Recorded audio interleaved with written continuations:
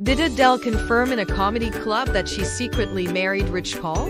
The singer seemingly confirmed she's married according to claims from two audience members who shared details with the celebrity gossip account DeuxMoi. Rumors have long been swirling that Adele and Rich Paul are married and now accounts. On a celebrity gossip site claims she confirmed the news at a comedy show.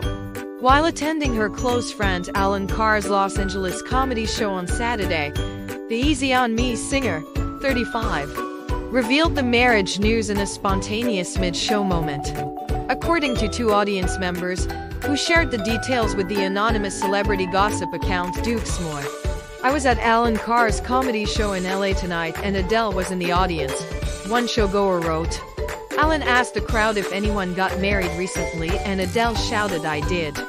The second fan told DeuxMoi when Carr asked if anyone got married recently Adele yelled I did.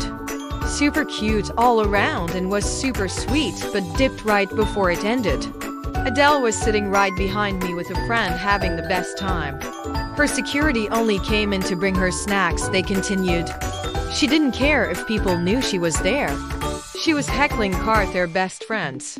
Reps for Adele and Paul did not immediately respond to people's request to comment. This isn't the first time the Grammy winner has seemingly confirmed that she and the sports agent, 41, tied the knot. In September, she referred to Paul as her husband while interacting with a fan at one of her Las Vegas residency shows. You can't marry me. I'm straight. My love. And my husband's here tonight. Adele told the female audience member in a video posted on TikTok. When the fan pressed her, asking, Can you try? Adele jokingly responded, No, I don't want to try. I'm with Rich. You're crazy. Leave me alone. Just days later, during another residency performance, the Hello singer referred to herself as Paul's wife. While discussing the topic of sports, she confessed that she's not the greatest wife to Paul, whose clients include LeBron James and Zach LaVine because she was struggling to understand and embrace American football.